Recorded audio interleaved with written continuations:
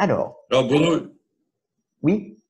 Juste pour, euh, pour ce que tu dis là, à l'échelle nationale, c'est plusieurs dizaines de milliers, ça représente plusieurs dizaines de de, de collectivités comme ça, de structures qui ont l'air un petit peu euh, fantomatiques, effectivement, il n'y a pas d'agents rémunérés sur ces collectivités-là.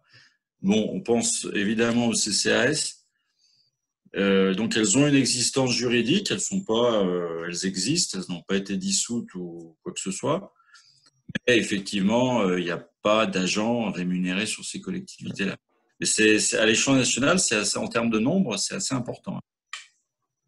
C'est tout à fait intéressant de relever ces informations parce que euh, ces, collectivités bah, elles fournissent un service et il n'y a pas forcément besoin d'agents. Donc derrière, après, on peut imaginer tout un tas de, euh, de choses. En tout cas, voilà, c'est très important de faire un bilan social à vide pour les collectivités concernées.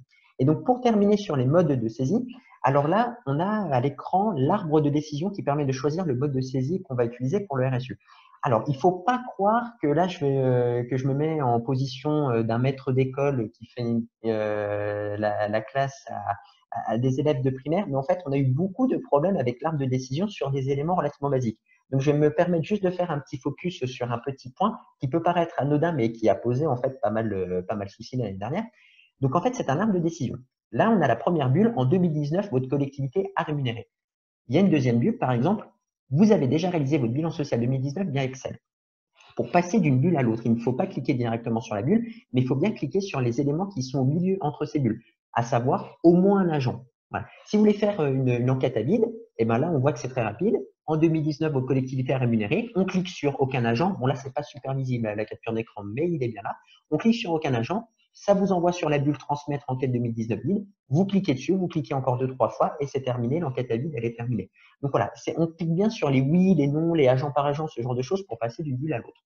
Et donc là, par exemple, vous avez l'exemple d'un chemin qui permet d'aller à l'import NKDS. Donc quand vous arrivez à l'import NKDS, bah, c'est pour importer votre fichier NKDS et là, c'est comme importer une pièce jointe sur un mail. Vous cliquez sur le bouton, donc là en l'occurrence la bulle, ça vous ouvre votre explorateur de fichiers et vous allez chercher le document. Et donc là, après, ça vous permet d'initier la saisie. Alors, il y avait un petit élément que j'ai oublié de souligner, c'est lorsque vous faites une saisie agent par agent, vous passez en partie consolidée et il est possible de revenir sur la saisie agent par agent. Mais alors là, il faut être vigilant sur un point.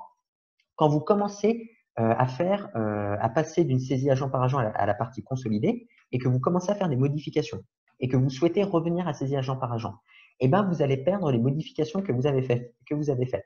Mais on sait aussi qu'il y a des collectivités qui préfèrent corriger les problèmes au niveau des données individuelles plutôt qu'au niveau euh, de la partie consolidée.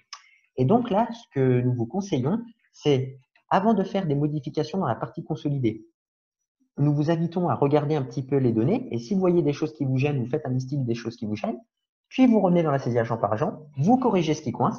Et après vous retournez dans la partie consolidée pour euh, terminer de faire euh, remplir les tableaux qui manquent et ce genre de choses. Ça, ça évite certaines, euh, certaines déceptions. Et puis, c'est vrai que c'est déjà quand vous avez passé du temps à faire une saisie agent par agent, si en plus vous perdez les modifications que vous faites dans la, partie consolidée, c'est vrai que c'est juste, c'est dommage. Voilà.